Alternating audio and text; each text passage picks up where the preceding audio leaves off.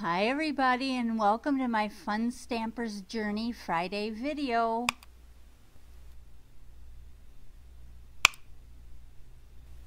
Today I'm going to make a card and I'm using the stamp set called Fabulous Bird and I stamped that bird out on some whipped cream cardstock with the Fun Stampers Journey True Color Fusion Black Licorice ink. And I'll be using uh, some Copics and I'm showing you the numbers there and I usually go from lightest to darkest with Copic markers. And I just put my lightest down first and then some darker and then a little pink for the cheeks. And then I go over it again with the lightest color. And then I'll color in the beak with some yellow. I'm just going to use one yellow to color in the beak and then for the little feather on the head, I'm using a colored pencil. And there, the bird is all done coloring. And now I'm going to cut this out on my Scan and Cut 2. And then I'm going to use this Vintage Notes stamp background stamp. And I put that in my stamping tool and I'm stamping it twice with the True Color Fusion Oatmeal ink. So it gets nice and dark.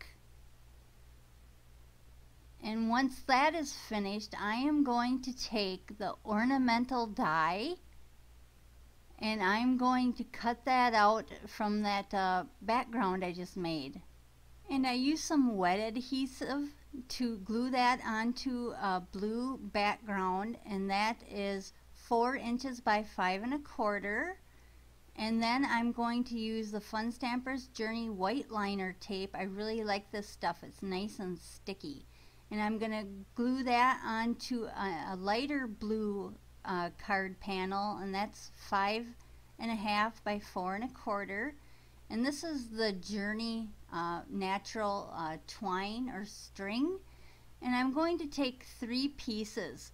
And I'm going to tape those three pieces on but first I need to glue on the bird with some wet adhesive. And then I'll take those three pieces of string or twine and tape them onto the back of the card. And then I take a little extra piece and I tie it in the middle with just a knot. And my card front is almost finished but I need the why hello there. So I'm going to stamp that out with the black ink the True Color Fusion Black Licorice ink. And now I'm just going to cut it into a little strip and then I'm going to use the white liner tape to glue that onto the front. And then I decide that uh, I'm going to glue that onto my card uh, base and that card base is a standard A2 size card base. So I just glue that right on there and then I'm going to add three sequins.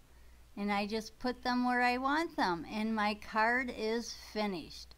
It turned out super cute and just remember, I will link all the supplies I use down below. And I am a Fun Stampers Journey Coach. So if you're interested in any of the products I used, I will have them linked down below. And I will also include my website for ordering. So please uh, like this video and subscribe. Thanks for watching. Bye.